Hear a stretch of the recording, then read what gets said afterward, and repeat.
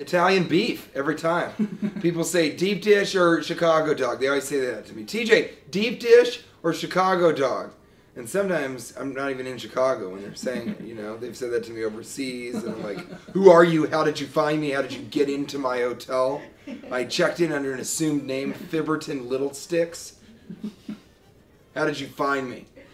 And then, but I'll say, "No, Italian beef for me." That's always been, for me, Chicago. The food is Italian beef, and I love a deep dish pizza. And a Chicago dog is, and that tells you a lot about people in Chicago because they don't want to eat a salad separately. The, the only way you can get them to eat a salad is to put it on a hot dog. I ain't eating those tomatoes. Those are for girls. I'll have old style and a, and a hot dog. What if we put the tomatoes on the hot dog with some celery salt? Okay.